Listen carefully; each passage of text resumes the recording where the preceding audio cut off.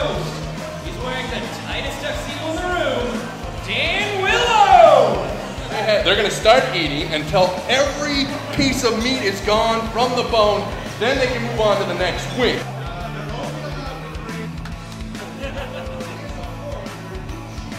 This one right here, number one right here. This guy, maybe this guy number two. I'm a wet dog guy for sure. Wet dab guy. like the wing sausage.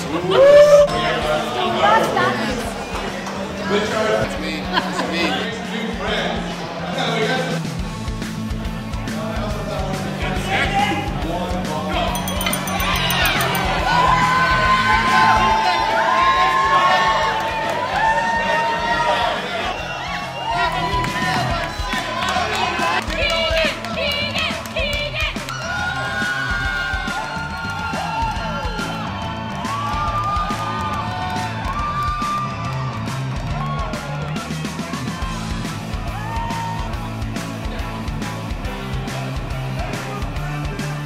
Feels great.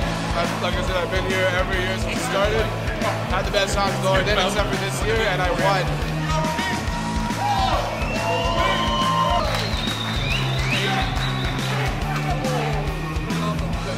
Minute 47.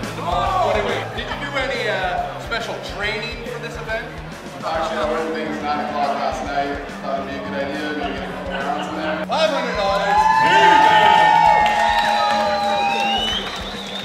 $500. My parents are gonna be proud.